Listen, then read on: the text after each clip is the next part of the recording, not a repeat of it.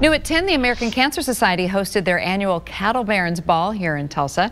The event started at 5 p.m. It ends tonight at 11. The ball is Oklahoma's largest single night fundraiser for the American Cancer Society.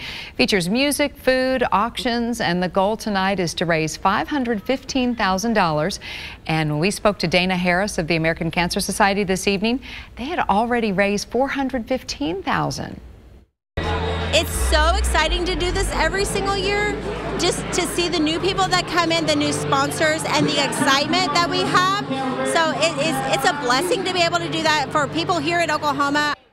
The event was emceed by our very own Fox 23 anchors, Shay Rozzi and Sarah Whaley.